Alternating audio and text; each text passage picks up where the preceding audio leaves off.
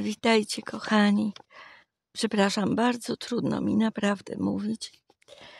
Natomiast y, sytuacja zmienia się jak w kalejdoskopie i myślę, y, że warto Wam przekazać y, kilka ciekawych spostrzeżeń y, z włoskich mediów i y, przede wszystkim ze strony, z której od dawna korzystam, ze strony Roberto Mazzoniego, przemiłego pana, Włocha, włoskiego dziennikarza, y, który głównie zajmował się kwestiami y, nowoczesnych rozwiązań i ekonomii.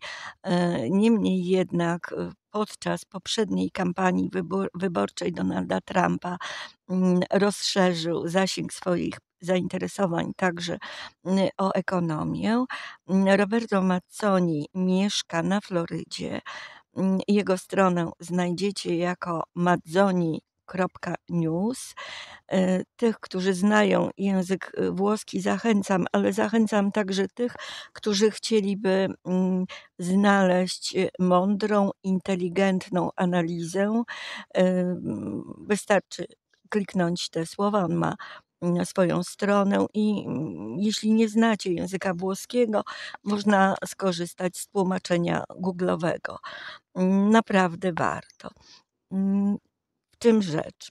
Oczywiście y, wczorajsze wystąpienie prezydenta Bideta, mimo iż przez wiele osób oczekiwane, y, wiąże się z wieloma pytaniami.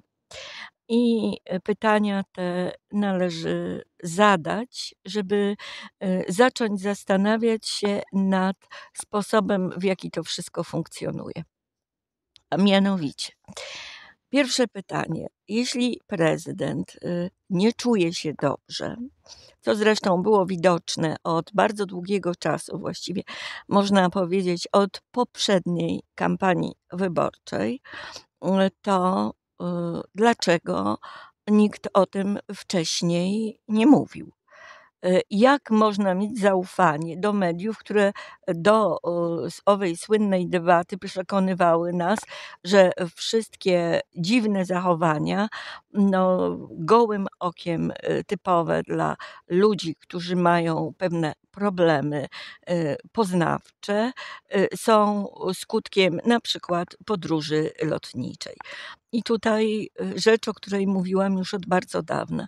W roku 1988, a więc y, no, 36 lat temu, jakby nie patrzeć, to um, ówczesny polityk i chyba senator wtedy, y, y, Joe Bidet, y, doznał podwójnego udaru. Przeszedł inwazyjną operację, po której sam fakt, że wrócił do zdrowia, przynajmniej fizycznego, no jest wielkim osiągnięciem neurochirurgii amerykańskiej. Mm, I y, tutaj warto sięgnąć. Ja dałam, mam zresztą screen ze strony Moody.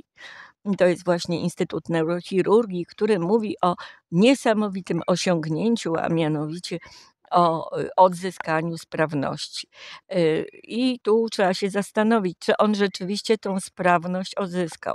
Po tak y, ciężkich problemach, no właściwie powinien on dokończyć życia mm, w spokoju, y, ewentualnie pisząc pamiętniki, zajmując się pracą charytatywną, a nie uczestnicząc w życiu politycznym, bo tu widzimy, że jest wykorzystywanie człowieka niepełnosprawnego, dlatego że mm, udar jaki by nie był, no po prostu stanowi ogromne ograniczenie i wymusza pewien konkretny tryb życia, który no niestety nie jest kompatybilny z obowiązkami głowy państwa, szczególnie w tak delikatnym okresie. E, Tu więc pytanie, komu na tym zależało, na zatajaniu takich faktów, na tworzeniu fikcji i przede wszystkim, kto tak naprawdę rządził.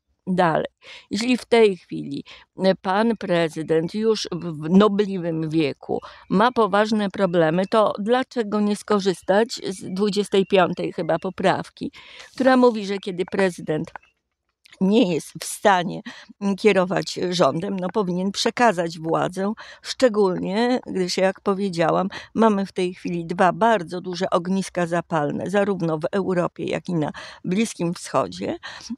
I e, tutaj, e, chociażby ze względu na zobowiązania z innymi w stosunku do innych państw, no musi być ktoś, kto po prostu e, zdoła unieść ciężar odpowiedzialności w tym stanie. Czyli, przepraszam, przepraszam bardzo, jeśli w końcu stwierdzono, że nie, pan prezydent nie może mm, e, wystartować w następnych wyborach, no to właściwie dlaczego nie pozwolić mu teraz w takim e, okresie powiedzmy sobie wyjątkowo ciężkim e, nie pozwolić mu odpocząć i odbyć odpowiedniej mm, rehabilitacji, żeby użyć takiego zwrotu. I Dlatego warto się zastanowić, jakie są istotne powody.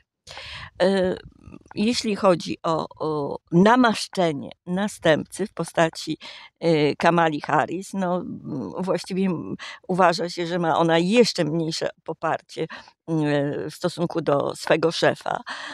I niektórzy sugerują, że niewykorzystanie 25 poprawki w sytuacji, kiedy ona automatycznie niemalże się nasuwa, e, jest po prostu związana z obawą, że y, owa pani może się skompromitować no, w sposób nieodwracalny, czyli e, po prostu wysuwanie jej kandydatury będzie śmieszne. Wystarczy przypomnieć jej misję, na przykład jedyną, którą między Bogiem a prawdą miała, związaną z kryzysem y, y, granicznym, gdzie nawet nie, y, nie raczyła się pofatygować, aby zobaczyć na własne oczy, jak to wygląda. Także y, tu widać bardzo, bardzo e, ciekawe pytania i te pytania trzeba sobie zadać. E, w tej chwili, kiedy to w cytowanym przeze mnie e, liście pan prezydent Bidet stwierdza, że y, zastąpi go w wyścigu do Białego Domu na kolejną kadencję y, mm, Kamala Harris.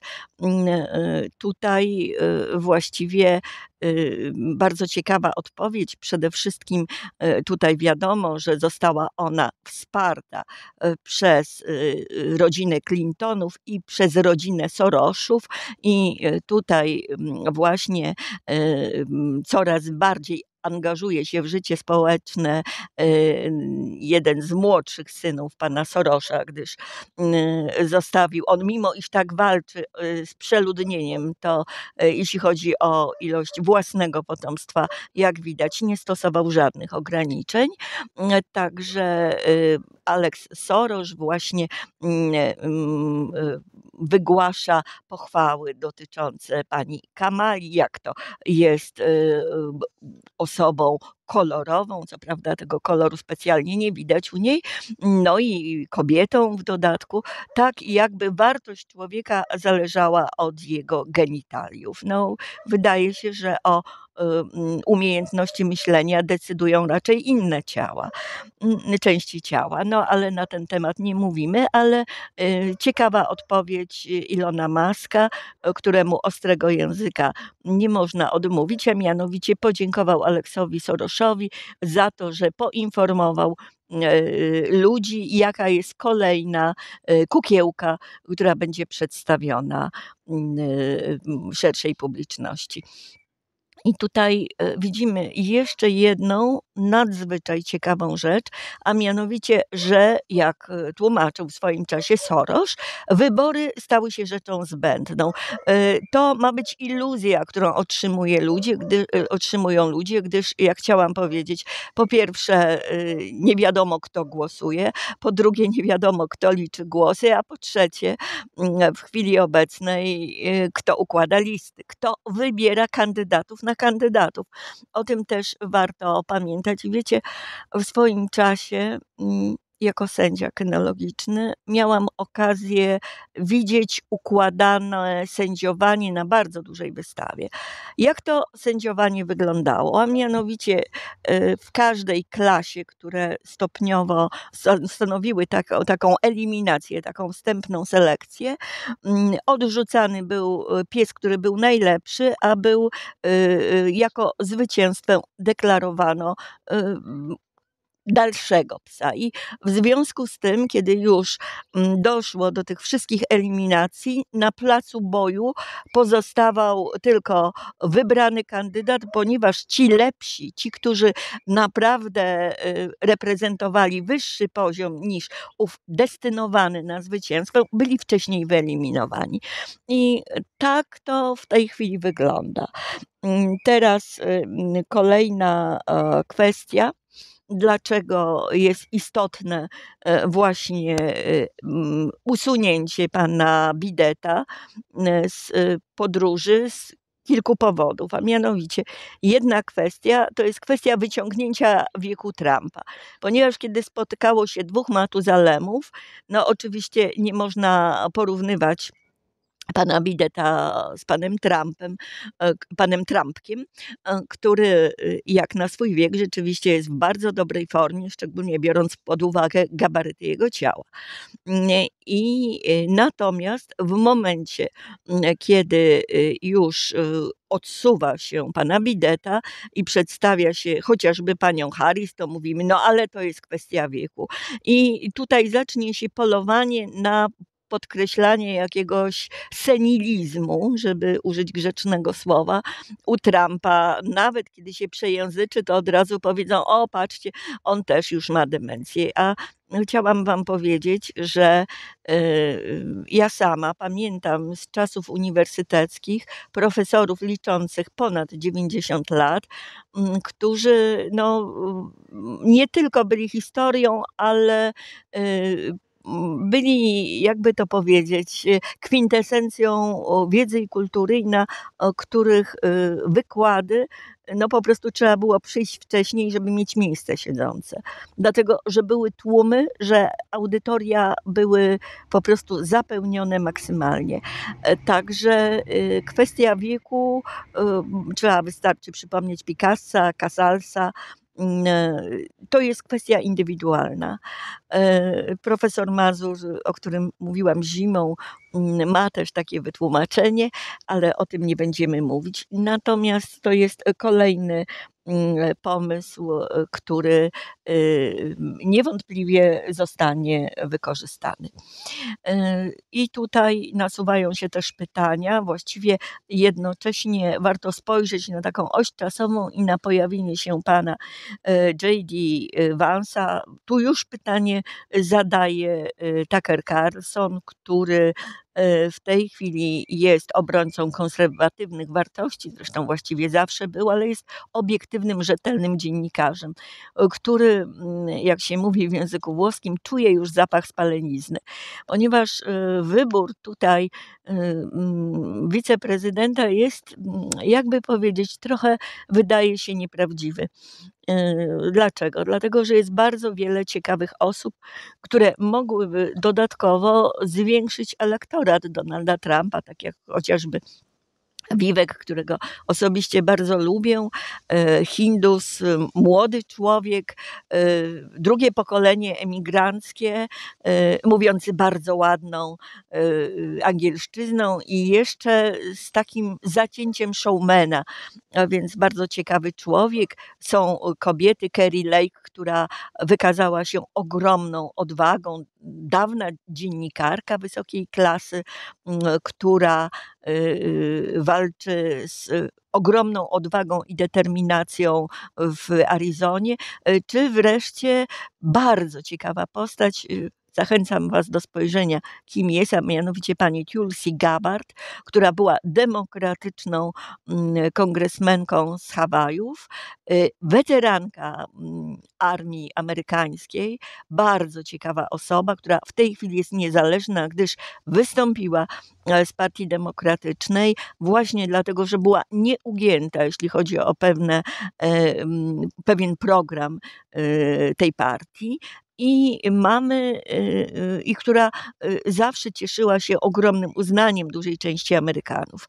Nie wspominając chociażby o Robercie Kennedy, który Zresztą też, jak mówię, J.D. Vance, mm, obie te postacie są podobne do siebie, dlatego że y, mają y, coś, jakby to ująć, no wydają się za dobre, żeby być prawdziwe. Ujmijmy to tak. I w tej chwili też są zarzuty, że e, postać J.D. Vance'a mm, jest y, stworzona specjalnie na potrzeby obecnej sytuacji, że jest to dowód pewnego o, mm, jakbyśmy to mogli ująć, e, kontraktu pomiędzy Deep State'em, i, e, czyli głębokim państwem, a Trumpem. I warto tu powiedzieć, że Trump, który po chwili, kiedy się otarł o śmierć, i, i tutaj e, po prostu no, tego nikt nie może zaprzeczyć.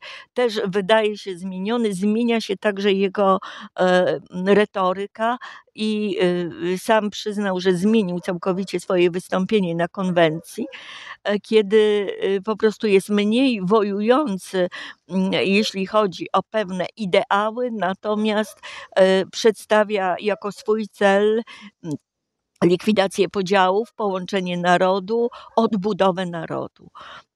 I y, jest to też bardzo ciekawe, jest to fenomen, który y, widzimy bardzo często, że ludzie, którzy zetknęli się bezpośrednio ze śmiercią, y, zmieniają swój punkt widzenia na wiele rzeczy. Także jest to bardzo ciekawe. I wreszcie to, co jest, można powiedzieć, najciekawsze, a więc jeśli w tej chwili Kamala będzie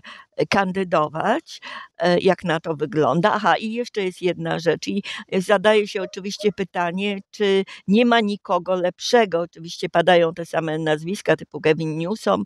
W tej chwili, zwróćcie uwagę, wyjątkowo awansował mm, pan Ben Shapiro, no nazwisko chyba nie pozostawia wątpliwości co do pochodzenia, który w chwili obecnej jest gubernatorem Pensylwanii. Zwróćcie uwagę, dziwny, e, dziwny fakt, a mianowicie, że właśnie w Pensylwanii miał miejsce y, zamach na e, Trumpa. I mm, tutaj, y, aha, może jeszcze mm, powiem Wam o pewnym fakcie, który został pominięty, mm, a mianowicie, że na wiecu Trumpa nie pojawiły się lokalne siły y, Secret Service, które były, które stan posiada i powinien e, wykorzystać przy takiej okazji, dlatego że tego samego dnia również w Pensylwanii pierwsza dama, e, dr Jill, dlatego że pani ta domaga się, żeby wszędzie używać tytułu doktor, e, e,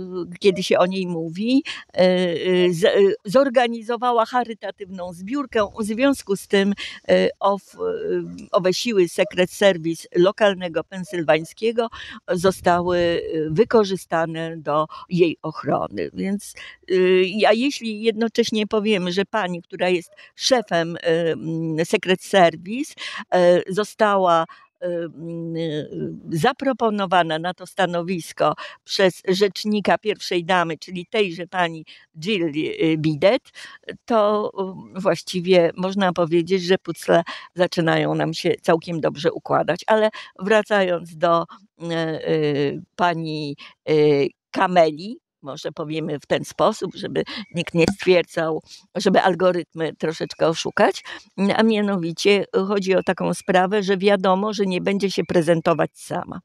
I tu wydaje się, że jest clue e, wszystkiego. Po pierwsze, jeśli chodzi o te same osoby, których nazwiska padają, to jest jeszcze jedna istotna sprawa. Wszyscy wiedzą, że chociażby nawet w chwili obecnej e, Trump e, rzeczywiście powrócił do Białego Domu, to nie czeka go żadna kolejna kadencja, że właściwie także ze względu na, na wiek jest to jego Mm, ostatni czas spędzony na tej pozycji. W wyniku czego można powiedzieć, że widać organizację wszystkich sił e, celu znalezienia dobrej alternatywy na rok 2000, 2028. Chociaż tu uwaga, mm, e, Simpsonowie, w którym ze swoich odcinków przedstawili Homera z taką e, e, naklejką Iwanka na prezydenta 2028. Także to taka ciekawostka. Natomiast w chwili obecnej właściwie nikt nie chciałby mm, kandydować, niejako spalić swojej kandydatury. Także właściwie wracamy do starych e, wyborów, do tych samych nazwisk, e, dlatego że nie widać właściwie nikogo nowego, jeśli chodzi o skrzydło e, demokratyczne. A przy okazji chciałam Wam powiedzieć, że jeszcze trochę złej krwi płynie, dlatego że już Wikileaks w swoim czasie udostępniło dokumenty, które wskazywały, że jeśli chodzi o poprzednie, o wybory mm, w 2016 roku, to zostały sfałszowane wybory, prawybory mm, w Partii Demokratycznej, dlatego że y, prawdziwym zwycięzcą był Bernie Sanders, który zyskał ogromne poparcie i który szedł jak burza. E, w związku z tym, że całe życie był, jakby to powiedzieć, osobą y, o bardzo takich socjalistycznych poglądach, ale niezależną. Także y, nie był głęboko związany z tym, co nazywamy głębokim państwem, więc był niewygodny. Dlatego po prostu y, nastąpiła pewna pomoc w liczeniu głosów. Ujmijmy to w ten sposób ale wracamy do rzeczy. Także jest y, pytanie, y, kto w takim razie mm, y, wystartuje razem z Kamalą i co może stanowić po prostu coś, co możemy określić game changer. Otóż może to zabrzmieć niesamowicie, ale jest taka możliwość, jak mówią ci, którzy analizują wszystkie sytuacje, że jako wiceprezydent u boku Kamali Harris pojawi się nie mniej nie więcej jak Barack Hussein Obama. Bo zwróćcie uwagę, prawo amerykańskie mówi, że y, prezydent y, może kandydować tylko na dwie kadencje. Natomiast nie ma mowy o funkcji wiceprezydenta. E, I tutaj niektórzy mogą powiedzieć, ale byłaby to degradacja. Niekoniecznie, dlatego że y, mowa w prawie jest o kandydowaniu, a nie o pełnieniu funkcji. Czyli jeśli na przykład y, po wygraniu wyścigu do Białego Domu. Na przykład kilka miesięcy później y, Kamala złamie nogę, albo źle się poczuje, albo się poczuje przytłoczona, albo dojdzie do wniosku, że jest to świat nieżyczliwy kobietom, będzie mogła oczywiście się wycofać, na przykład również na podstawie 25 poprawki, a wtedy y, zgodnie z prawem amerykańskim władzę przejmie jej przejmie wiceprezydent. A więc y, może to zabrzmieć y, w sposób bardzo dziwny, ale y, słuchajcie, po wyborze rzekomym e, pani wodę lejem możemy chyba się zorientować, że e, wybory stały się w tej chwili farsą. I właściwie wiara, że głosując na tego czy innego kandydata zmieniamy cokolwiek, Y, właściwie y, jest y, no, taką nadzieją, a pamiętajmy, że nadzieja jest matką głupich. I tu nawet popatrzmy na wybory, na przykład dotyczące kwestii palestyńskiej, na właśnie J.D. Vansa, ja wam dałam nawet taki e, żarcik rysunkowy, gdzie Trump zmienia dwie litery, reszta wszystko zostaje bez zmian, a mianowicie, który opowiada się zdecydowanie po stronie wszelkich pomocy dla e, państwa położonego w Palestynie. I zwróćmy uwagę, co ciekawe, właśnie IPAC, czyli fundusz o praktycznie bez dna, bo jest powiązany z ludźmi, którzy drukują walutę, więc nie mają żadnych ograniczeń, finansuje wszystkich polityków I o tym jakoś się nie mówi, także o tym, że y, po- powiedzmy sobie takie poglądy wsparcia agresora y, stosującego nieludzkie metody, od których wydawałoby się w tym czasie już powinniśmy odejść, ludzkość powinna iść do przodu, jeśli chodzi o y, kulturę, no to raczej nie widzimy. Dlatego po prostu chciałam Wam jeszcze przekazać te wiadomości. E, Jeśli będziecie słuchać, m, to w tej chwili wiadomości, pamiętajcie o tym, co Wam tutaj dzisiaj powiedziałam i zadajcie odpowiednie pytania. Także to wszystko na dzisiaj. Pozdrawiam Was bardzo serdecznie, aczkolwiek z coraz większym trudem myślę, że nie będę Wam e, relacjonować e, wyborów amerykańskich. Będę patrzeć z chmurki i trzymać kciuki za Polskę, za Włochy, za świat.